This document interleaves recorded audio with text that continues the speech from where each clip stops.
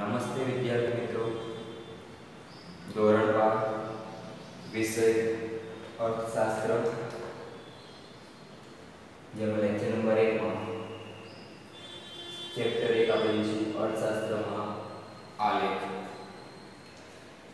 આ ચેપ્ટરની અર્થશાસ્ત્રમાં આલેખ અહીંયા આપણે આલેખ વિશે જુદા જુદા પ્રકારના આલેખ વિશે સમજૂતી મેળવવાની છે જે આપણને પાંચ માર્ક્સનો પ્રશ્ન પૂછાય છે આલેખ જો આગળ પ્રસ્તાવનામાં અર્થશાસ્ત્રમાં વાસ્તવિક જીવનમાં બનતી વિવિધ આર્થિક ઘટનાઓની સમજૂતી અપાય છે અને તેનું વિશ્લેષણ પણ કરવામાં આવે છે.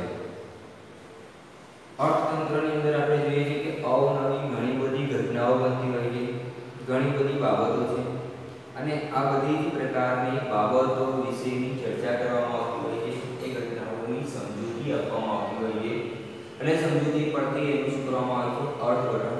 એનું વિશ્લેષણ કરવામાં આવે છે અર્થશાસ્ત્રમાં રાજ્ય બેંકો અને આંતરરાષ્ટ્રીય સંસ્થાઓએ આપેલી માહિતી અને આંકડાઓ માહિતી અને આંકડાઓનું ખાસ વિશ્લેષણ થતું હોય છે કે જે અર્થઘટન હોય છે એ દરમિયાન જો કે અર્થની જુદી જુદી માહિતી એકત્ર થાય છે એવી માહિતી અને આંકડાઓ જે મળે છે એ આંકડાઓ પરથી એનું અર્થઘટન કરવામાં આવે છે. વિશ્લેષણ તારણ કાઢવામાં આવે છે. પરંતુ આવી ઘટનાઓ વિશેની બાબતો અને પ્રજાએ સમજવા જેવા અર્થતંત્રના ફેરફારો ચિત્રો દ્વારા વ્યક્ત થાય તો સામાન્ય પ્રજાનું ધ્યાન દોરાય છે અને પ્રજા સુધી માહિતી પહોંચે છે. આપણે જોઈએ કે જે માહિતી મળે છે, જે આંકડાઓ મળે છે, એ સીધા આંકડા વ્યક્તિને મળશે. તો એનાથી વ્યક્તિને ખ્યાલ જલ્દી આવતો નથી. પણ એ પ્રજાને સમજવા માટે, પ્રજાને સમજાવવા માટે, જો એ આંકડાકીય માહિતી એ જો કોઈ ચિત્રો દ્વારા એટલે કે ચિત્રો દ્વારા વ્યક્ત થાય તો સામાન્ય પ્રજાનું ધ્યાન કરાય એટલે સામાન્ય પ્રજાને એ માહિતી અંગેનો ખ્યાલ આવી શકે આવા વિશ્લેષણને સમજવા બે પ્રકારના ચિત્રો દોરવા મળે છે અને એ જે ચિત્રો દ્વારા રજૂઆત કરવાની છે. એવા ચિત્રોમાં બે પ્રકારના ચિત્રો દોરી શકાય છે. આકૃતિ અને આલેખ. બે પ્રકારના ચિત્રો દ્વારા આપણે પ્રજા સુધી માહિતી પહોંચાડી શકીએ છીએ. તો એવા ચિત્રો જોઈએ કે આકૃતિ અને આલેખનો તફાવત. એ બે ચિત્રોની માહિતી કયા બે પ્રકારના ચિત્રો આકૃતિ અને આલેખ. પડે દોરવાના છે આપણે. હજુ આગળ પણ તે પહેલા આકૃતિ અને આલેખ શું છે? એનો તફાવત પણ તમને 5 માર્ક્સની અંદર અચ્છા, બે માર્ક્સની અંદર પૂછાઈ શકે છે તફાવત, આકૃતિ અને આલેખનો તફાવત, તો આપણને આ બે ગુણમાં પૂછાઈ શકે છે. તફાવતના પરીક્ષાની અંદર આપણે ચાર ચાર મુદ્દા લખવાના હોય છે બંનેમાંથી, બરાબર? તો અહીંયા કેટલાક મુદ્દાઓ આપણને આપવામાં આવે છે. એમાં જોઈએ અને બંનેનો ખ્યાલ પણ મળી જાય કે આકૃતિમાં શું માહિતી હોય છે, વિશેષતાઓ રહેલી અને આલેખમાં કઈ રહેલી છે. સૌપ્રથમ આકૃતિમાં જોઈએ અહીંયા હું તમને ડિવાઇડ કરીને આપેલા છે મુદ્દાઓ, પણ પહેલા આકૃતિના મુદ્દા જોઈશું અને પછી આલેખના આકૃતિ અવલોકિત માહિતીનું ચિત્ર દ્વારા પ્રતિનિધિત્વ એટલે આકૃતિ આકૃતિની વ્યાખ્યા જોયું કે અવલોકિત માહિતી જે કઈ માહિતી તમને આંકડાઓમાં આપવામાં આવી અવલોકનમાં તમને આપવામાં આવી તમે જો બરાબર તો એવી અવલોકિત માહિતીનું ચિત્ર દ્વારા પ્રતિનિધિત્વ એટલે આકૃતિ એ જ રીતે વ્યાખ્યા આલેખની અંદર પણ સર્કિટ થાય કે અવલોકિત માહિતીનું ચિત્ર દ્વારા પ્રતિનિધિત્વ. એટલે એને શું કહેવાય? આલેખ. બંનેની વ્યાખ્યા સેમ છે. કે જે આંકડા અવલોકનમાં જ આપવામાં આવે છે, અવલોકિત માહિતી તમારે શું કરવાની છે? રજૂઆત કરવાની છે ચિત્રમાં. હવે એ ચિત્રમાં તમને આપેલી માહિતી પર તમારે પસંદ કરવાની કયા પ્રકારનું ચિત્ર દોરવાનું છે આકૃતિ દોરવાની છે? કે આલેખ દોરવાનું બીજો મુદ્દો માહિતી સ્વયં સ્પષ્ટ હોય ત્યારે આકૃતિ દોરવામાં આવે છે કે માહિતી કેવી હોય સ્વયં સ્પષ્ટ માહિતી એટલે અહીંયા શું છે કે સ્વયં સ્પષ્ટ આકૃતિ દોરવા માટે કયા પ્રકારની માહિતી જોઈએ એ પ્રશ્ન પૂછાય સ્વયં સ્પષ્ટ માહિતી હોવી જોઈએ બીજું કે આકૃતિ દોરવા આંકડાશાસ્ત્રનું ઊંડું જ્ઞાન હોવું જરૂરી નથી આકૃતિ દોરવાની છે તો આકૃતિ દોરવા માટે આંકડાશાસ્ત્રનું ઊંડું જ્ઞાન, સામાન્ય નોલેજ હોય તો ચાલી શકે છે અને આકૃતિ દોરી શકાય એટલે કે ઊંડું જ્ઞાન, આંકડાશાસ્ત્રનું ઊંડું જ્ઞાન હોવું જરૂરી નથી.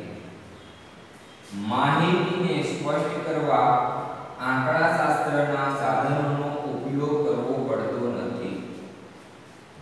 એટલે આંકડાશાસ્ત્રનું ઊંડું જ્ઞાન જરૂરી નથી એટલે કે આંકડાશાસ્ત્રના સાધનોનો ઉપયોગ કરવો પડતો નથી આકૃતિ દોરતી વખતે સ્કેલમાં લેવામાં આવે છે મુદ્દા સરળ છે તફાવતમાં મુદ્દામાં આપણે સરળ લખી શકીએ ઓપોઝિટ આવશે. આલેખમાં એટલે સરળતાથી યાદ રહી જાય એવા છે.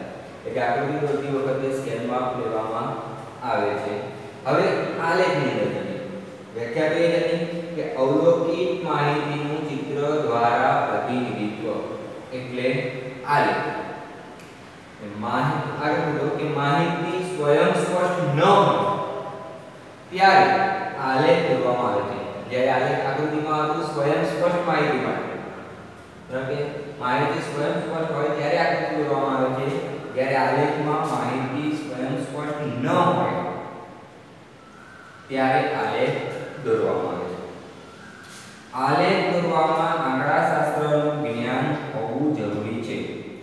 એમાં જોયું કે આંકડાશાસ્ત્રનું જ્ઞાન ઊંડું જ્ઞાન હોવું જરૂરી નથી ત્યારે અહીંયા આંકડાશાસ્ત્રનું જ્ઞાન હોવું જરૂરી છે માહિતીને સ્પષ્ટ કરવા આંકડાશાસ્ત્રના સાધનનો ઉપયોગ કરવો પડે છે માહિતીને સ્પષ્ટ કરવા માટે શું આંકડાશાસ્ત્રના સાધનોનો ઉપયોગ કરવો પડે છે. જ્યારે આકૃતિમાં એનો આંકડાશાસ્ત્રના સાધનોનો ઉપયોગ કરવો પડતો નથી.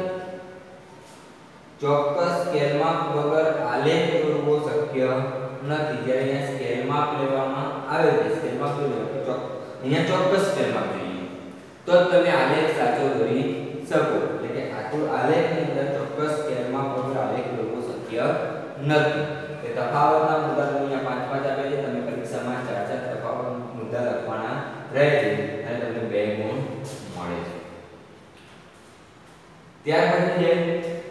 ત્રીજો અર્થશાસ્ત્રમાં આકૃતિઓ અને આલેખનું મહત્વ જે આપણને ત્રણ ગુણમાં પૂછાતો પ્રશ્ન છે.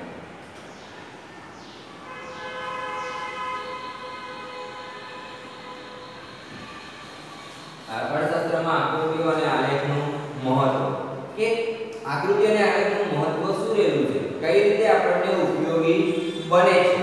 તો એના કેટલાક મુદ્દાઓ જેમાં જુઓ આકૃતિ અને આલેખ દ્વારા અટપટો લાગતો અર્થશાસ્ત્રનો અભ્યાસ સરળ અને સ્પષ્ટ બને જે કેટલીક માહિતી મળી હોય, પણ એ માહિતીથી આપણે સમજી ન શકતા હોઈએ.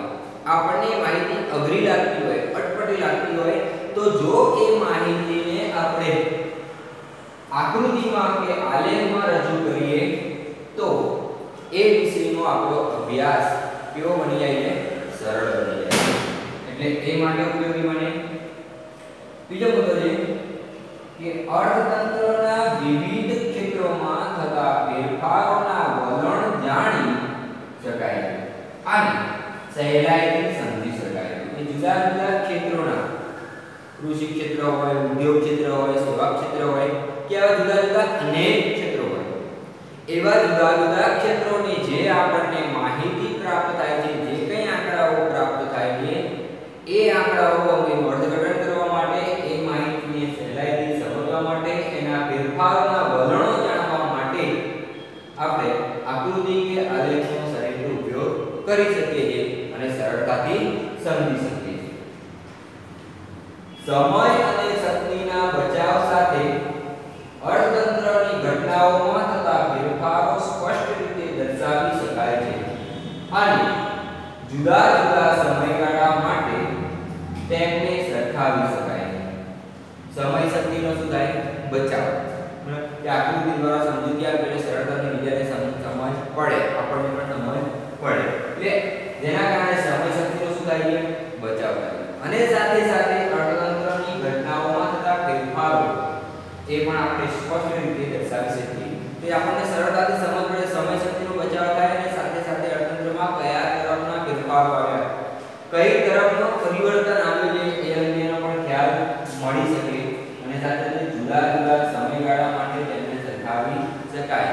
કે જેના કારણે માહિતી મળે કે કયા સમયગાળામાં કેટલું પ્રમાણ હતું કયા સમયમાં હવે આવનારો સમય કેવો છે કેવું પરિણામ આવશે આ અંગેના આપણે આલેખ અ, તારણો પણ મેળવી શકીએ અર્થશાસ્ત્રના કેટલાક અઘરા સિદ્ધાંતોની રજૂઆત સ્પષ્ટ અને સરળ બને છે અઘરા સિદ્ધાંતો અર્થતંત્રની કેટલીક અઘરી માહિતીઓ માહિતી એટલે એવી અઘરી માહિતી આપણે સ્પષ્ટ અને સરળ રીતે જાણી શકીએ. જેમ કે, માંગ અને પુરવઠાના વિસ્તરણ અને સંકોચનનો ખ્યાલ કે તેમની મૂલ્ય સાપેક્ષતાનો ખ્યાલ આકૃતિ દ્વારા સરળ બને છે. કે માંગ અને પુરવઠો જે આપણે 11 માં ધોરણની અંદર, ચેપ્ટર 3 ની અંદર માંગ વિશે ભણ્યા પુરવઠા વિશે ભણ્યા તો માંગ વિશે જોયું માંગનો ખ્યાલ, માંગનો નિયમ શું હતો? એ જ રીતે પુરવઠો, પુરવઠાનો નિયમ. માંગ તો માંગની મૂલ્ય સાપેક્ષતાના પ્રકારો. આ બધામાં આપણે જુદી જુદી આકૃતિ દોરીને જે આપણે સમજૂતી પ્રાપ્ત કરી. એટલે કે આકૃતિ દ્વારા આપણે એને સરળતાથી સમજી શક્યા છીએ. તો એ રીતે એટલે કે આકૃતિ અને આલેખ દ્વારા આપણે સરળ રીતે એની જે તારણો છે અર્થઘટન છે, એ આપણે પ્રાપ્ત કરી શકીએ છીએ. અર્થતંત્રમાં આવતા કેટલાક પરિબળોના જુદા જુદા વર્ષોના વર્ણનો સહેલાઈથી એક જ આકૃતિ અથવા આલેખમાં જોઈ શકાય છે જુદી જુદી માહિતી એકત્ર કરીએ પણ એ જુદી જુદી માહિતીને આપણે એક જ આલેખ કે આકૃતિમાં રજૂ કરીએ છીએ જેના કારણે એ જુદી જુદી માહિતી એક જ આકૃતિ ઉપર એક જ આલેખ ઉપર આપણે જોઈ શકીએ છીએ, જેથી એના ઉપરથી સરળતાથી તારણો મેળવી શકાય છે કે કયા વર્ષમાં શું હતું, કયા સમયગાળામાં શું માહિતી હતી, આવનારા સમયગાળામાં હવે શું માહિતી હતી, એવા અનેક તારણોનું અર્થઘટન કરી શકાય છે. એટલે આ રીતે આપણને જે અર્થશાસ્ત્રમાં આકૃતિઓ અને આલેખનું મહત્વ જેનો મોટા પ્રશ્ન છે, ત્રણ ગુણમાં પૂછાતો, અને જેની તરફ તમને હોય છે. પાંચ મુદ્દા. અને તમને ત્રણ માર્ક્સ મળે છે. એટલે હવે નેક્સ્ટ લેક્ચરમાં આપણે અભ્યાસ કરીશું.